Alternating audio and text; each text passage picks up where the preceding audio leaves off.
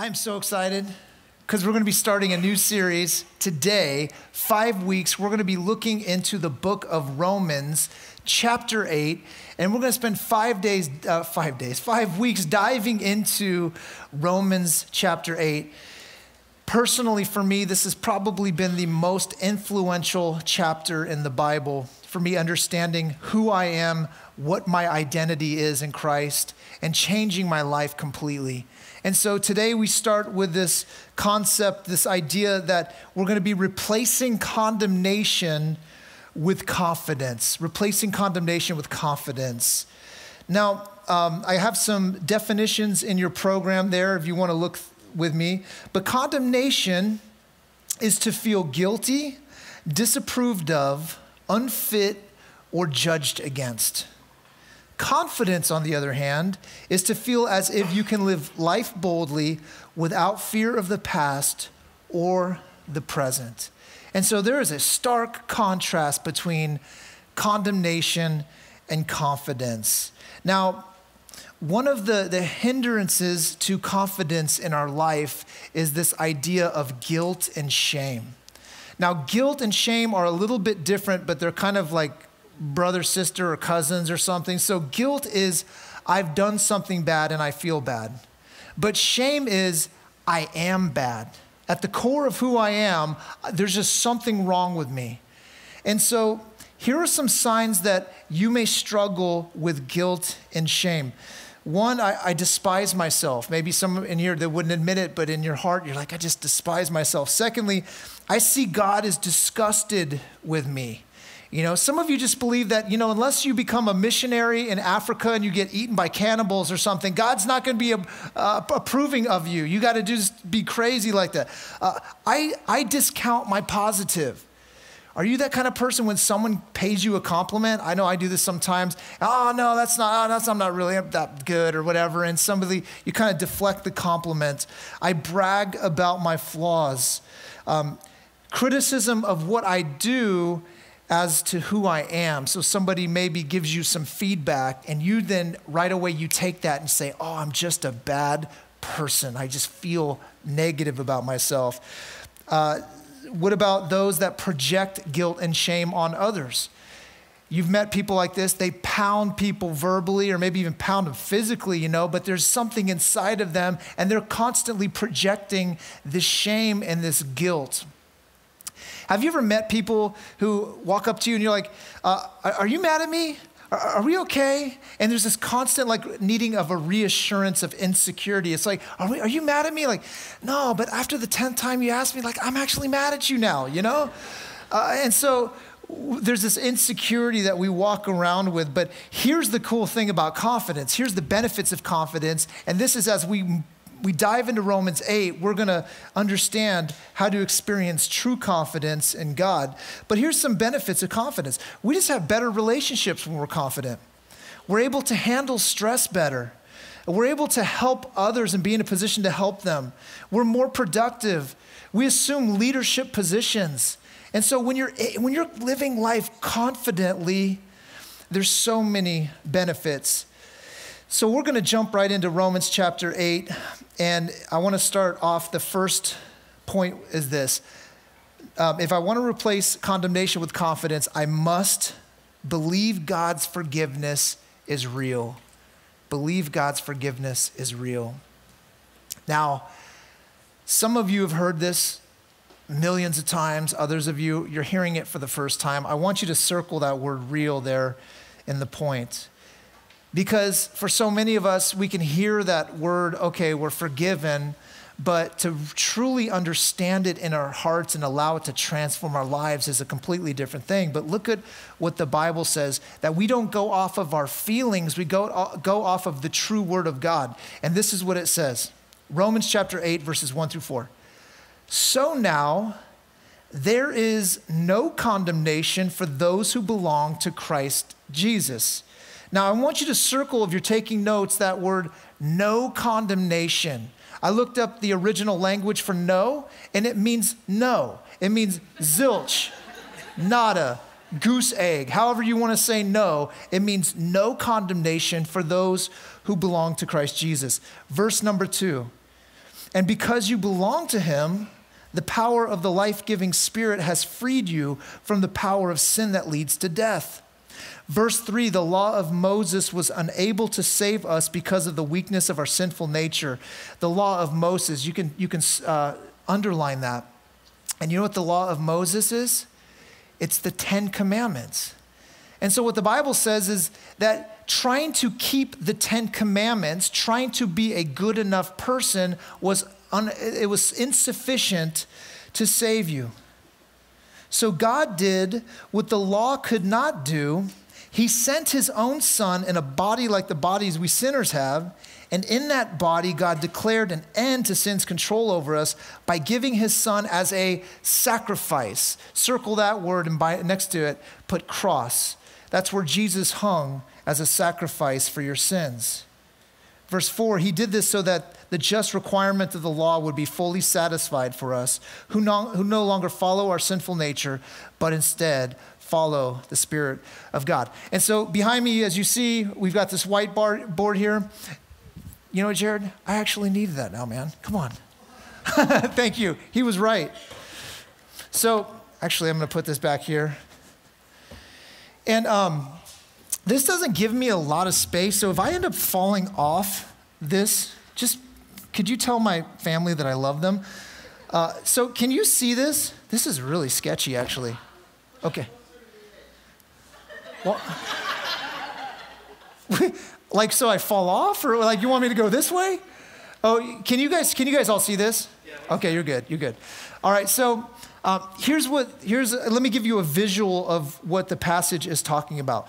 So the reality is this: is that we're over on this side, and we are people, men and women, boys and girls, and what ha- what happens is that um, we're over on this side we're going to represent God with green, okay? So green represents life. And this is God. Now, God is 100% holy and righteous all the time. And so, because we are not, the Bible says that we have sin in our lives. And even though we try to keep the Ten Commandments, we don't always do that. And we think, well, if maybe God will grade us on a curve. And that's how I believed for most of my life that if, if I had got seven out of 10 right, I'm good. But the reality is, God is 100% holy. He's perfect. And so there can't be any sin. If there's any sin, it has to be punished. And so you look at the things that we, we do, and you know, the Bible says the, the Ten Commandments adultery, we steal, we, uh, we lie, dishonor our parents, uh, you know, we, uh, we we make images and we worship things other than God. And so there's these things in our lives and this sin that separates us from a holy God. Now, I'm going to share a quick little story with you, but uh, you guys all know that Kmart burned down. Yeah, I was okay with Kmart burning down. I'll just, I'll be honest with you. And, and not for reasons why you think, but you see, Kmart represented for me a, a time of my life of, of condemnation. I, when I was a teenager, I used to go into Kmart and I would steal things. And I was good at it. Like I was a good stealer. I actually lived in Pittsburgh because I was awesome. So you're like, that's a dumb joke. But I would go into to Kmart and steal stuff when I was a teenager. And so um, when Kmart burned down, it was like almost like there was this representation of some of the things of my past.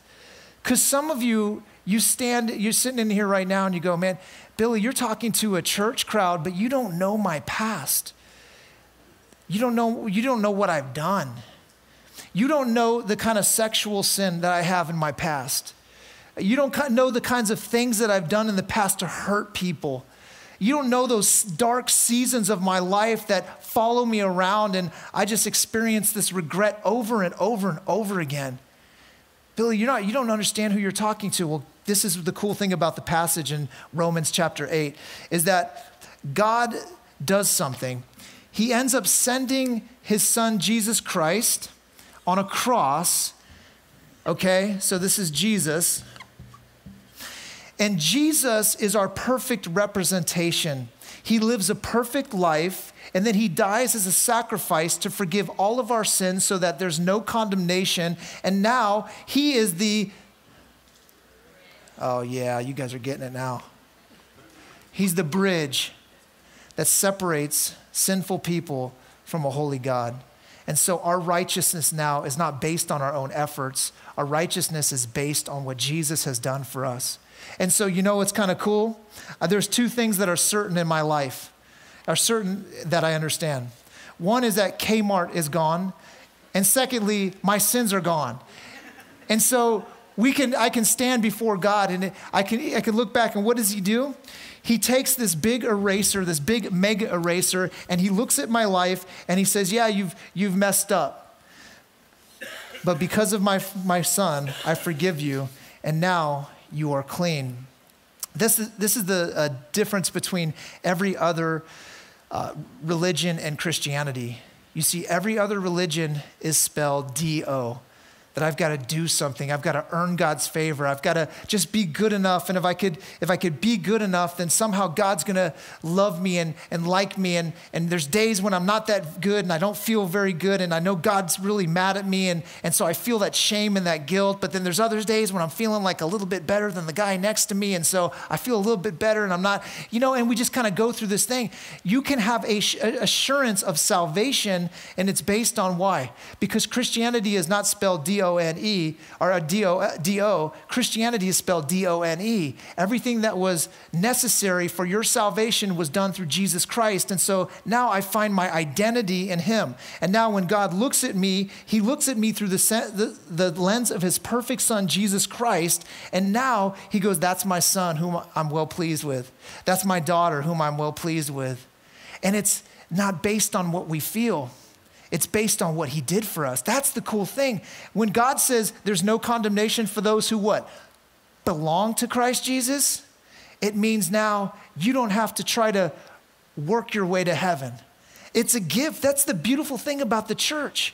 And then now we've become the bridge to go tell this to a world that's hurting and needs to know that they don't have to live under a cloud of condemnation any longer, but they can live in a cloud of, of, of confidence and of identity.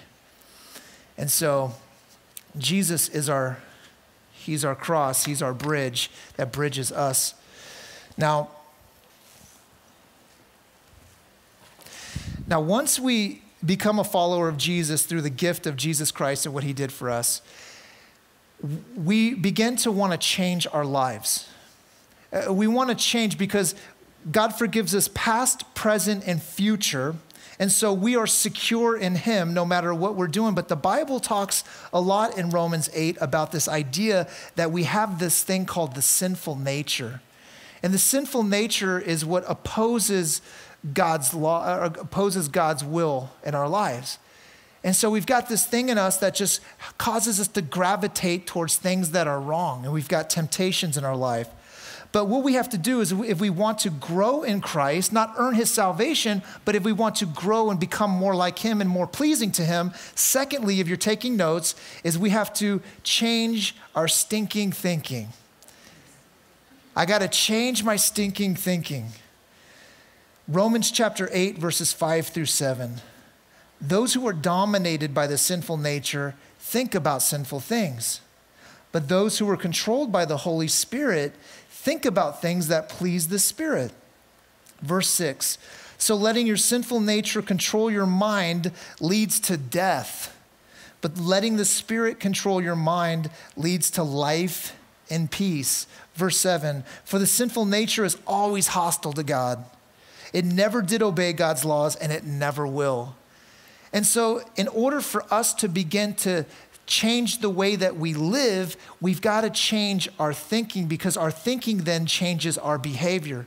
And we have to begin to believe things about us. You see, God's, you know, we've got this accuser called the devil, and he's constantly going to accuse you. And even though you trust Jesus Christ as your Savior, in those moments, he's going to come in and he's going to say, Well, you remember that season of your life? Or you remember that thing that you did? Or you remember that regret? And he's going to come in and try to remind you of the things that you did that separate you from God. And then it's going to cause you to feel like, Well, I'm not really worthy, and God really can't love me. And, and you get down and you start thinking about guilt and shame and condemnation. And God's saying, no, no, no, no. You've got to, I, I want to do some brainwashing here with my, with my word, with my truth. And you start to replace some of those, those lies with God's truth. And you realize, no, God loves me. I've called you to a higher standard, that nothing can separate me from your love. And so we have to change our thinking. Um, of all the things that people have accused me or have called me in the past, a neat freak is not one of them. Okay? I don't know about you, but there are some thoughts that run around in my head like this Why would I ever make my bed just to know that I'm going to go and sleep in it later on that night? Okay, some of you got you to help me out here. Why would I put the toothpaste cap back on the toothpaste if I know that I'm going to be using it the next morning? Somewhere, uh, or, or next week or whatever. I'm just kidding.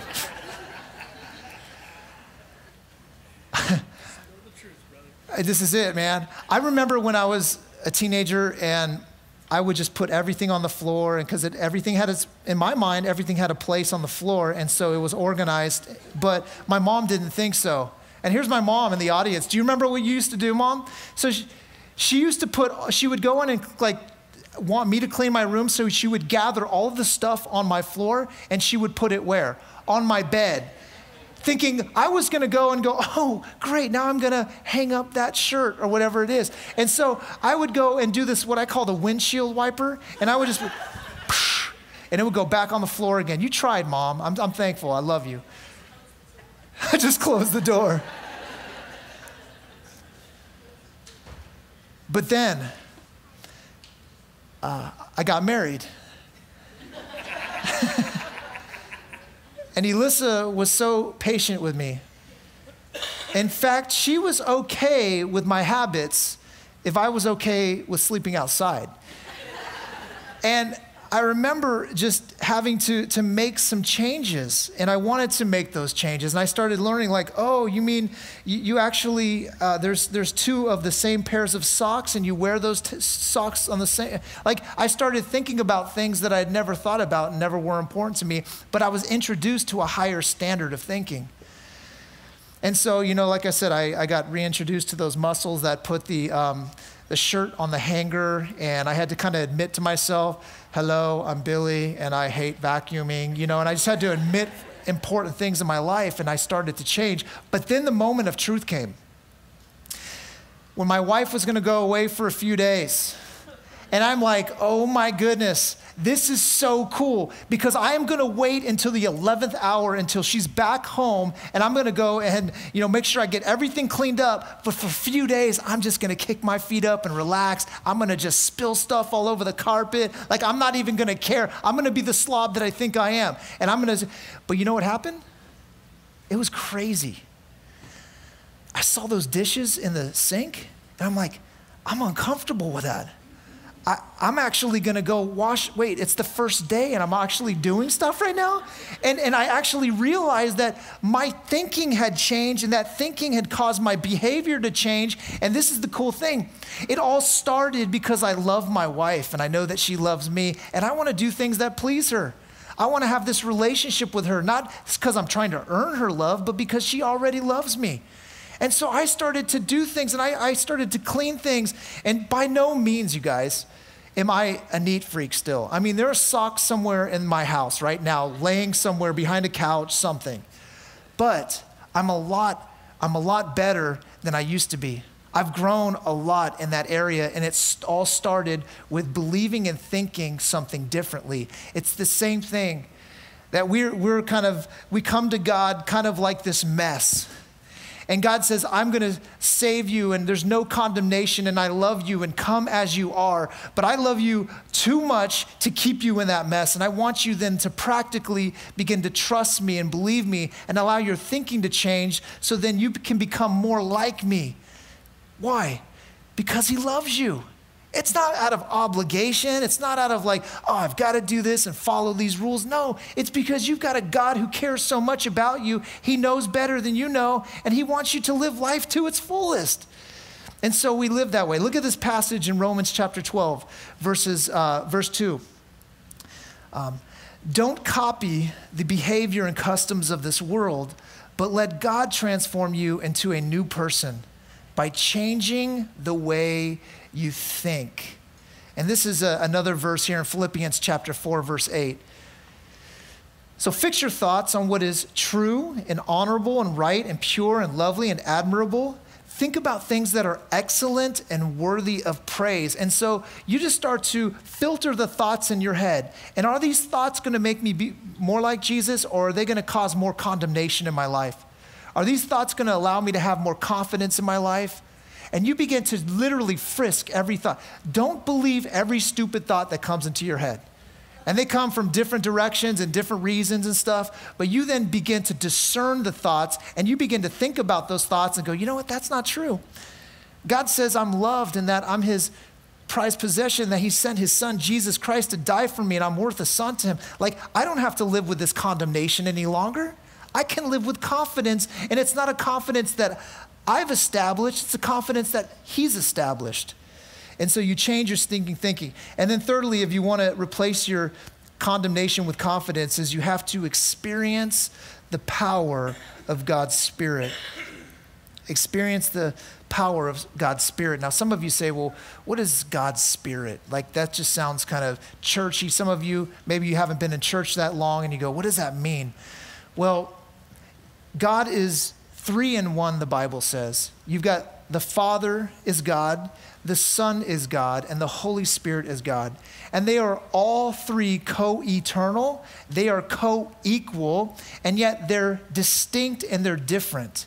It's a, it's a mystery of the Bible, but God is three in one. And when you come into a relationship with God, He sends His Son, Jesus Christ, who then comes to live in your heart and he saved you and he, he says there's no condemnation in me. But then what he does is the, he then gives his spirit to you to live the kind of life that brings honor to god. Look at this passage in romans chapter 8 verses 9 through 11 but you are not controlled by your sinful nature. You are controlled circle that word and put yield by it. You are controlled by the spirit if you have the spirit of god living in you I'm teaching my daughter how to drive, and there's this little roundabout in Windsor as you go through Old Redwood Highway. Some of you know what I'm talking about. And there's that sign that says yield. And I just blow through that yield sign quite often. So when she's in the car, the other day she's in there and I'm like, you gotta yield. And she's like, Dad, you don't even yield. Why should I yield? I'm like, oh, great. But, but here's what it means to yield it means to wait and let the other car go by. So, what does it mean to yield to the Spirit's working in our hearts and lives? It means I'm going to wait. I'm going to stop doing things my way. I'm going to let you go by. I'm going to let you go first, and I'm then going to follow your lead.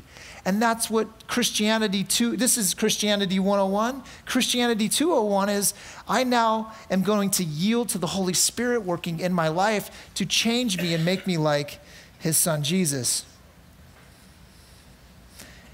in parentheses in that second part of Romans chapter uh, or uh, verse 9, and remember that those who do not have the Spirit of Christ living in them do not belong to him at all.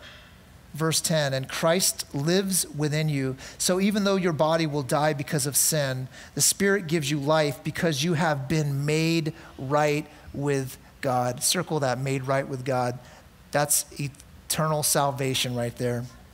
Verse 11 The Spirit of God who raised Jesus from the dead lives in you. And just as God raised Christ Jesus from the dead, he will give life to your mortal bodies by this same Spirit living within you. Just in those two verses, you've got the Spirit described three times. In this short verse, uh, chapter 8, 39 verses, the Spirit is described 19 times. 19 times. And people will ask me, is it hard to live the Christian life? And you know what I tell them? It's absolutely impossible to live the Christian life on your own strength. If you're trying to live this life apart from God's Spirit, but with God's Spirit, He gives you, the Bible says, this resurrection power where you now have strength over temptation and you have victory over your life. And you can now make the changes. Why? Not because you're strong, but because you surrender to God. It's a completely different thought process. Everything in our life has told us work harder, just, just be stronger. And God's saying, No, I want you to surrender and submit your heart to me more, and then I'll begin, I'll begin to do this work in you. And the work, sometimes it's, it's difficult work. Experience the power of God's Spirit. Don't just learn the power of God's Spirit. So many Christians and so many churches, we can learn this intellectually. But the Bible says that God's Spirit, if you have Jesus Christ, lives inside of you. That changes everything. You now, you don't have to live in condemnation now. You can live with confidence. And it's not just this fake, you know, you meet some people and they've got this kind of aura about there, like, hey man, I'm confident, I'm putting on this front and everything's cool, but it's kind of rooted in this insecurity. No, when we walk with confidence as followers of Jesus, there's this deep rooted confidence that is based on God's love for us and based on what he said about us. And so now our confidence is rooted in security. It's rooted in God. Some of you, you you've been thinking for, for years that God is just angry with you.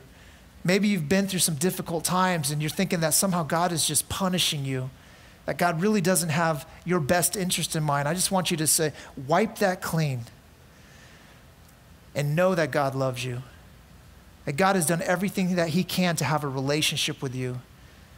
That for some of you right now, He's calling you into that relationship and to experience His love and His Spirit. You know, in the second half of verse 9, it says, And remember that those who do not have the Spirit of Christ living in them do not belong to Him at all. What I want to do is, I want to give you an opportunity. If you don't have the Spirit of Christ living in you, if you don't have that God's strength living in you because you've never received this gift of eternal life and forgiveness through the sacrifice of his son Jesus, then I want to invite you to receive that gift today. It's a gift that He offers to everyone, no matter what you've done, no matter where you've been, no matter who you are. He's calling everybody into His love and into relationship. So let's pray to Him right now. God, thank you for Romans chapter 8. Lord, for this truth, there is no condemnation, Lord. God, help us to believe that that is true. Help us to understand that as your spirit works in our hearts, to really believe that, and then to, to live our lives from that. I want to pray for anyone in here that has never put their faith in you, Jesus, that just right now in their hearts, they would say, Father, thank you for sending your son, Jesus, to die on a cross, to be a sacrifice in my place I confess my sins to you, and I lay down my guilt, and I lay down my shame, and I lay down my condemnation at the foot of the cross, and I say, God, I can't carry this any longer. I give it to you. Thank you that my salvation is a gift that I don't have to earn. And knowing that, Lord, now I want to live life that pleases you, a life that honors you. And so I ask that you would fill me with your Holy Spirit to give me the strength to make the changes that bring glory to your name. In Jesus' name we pray. Amen.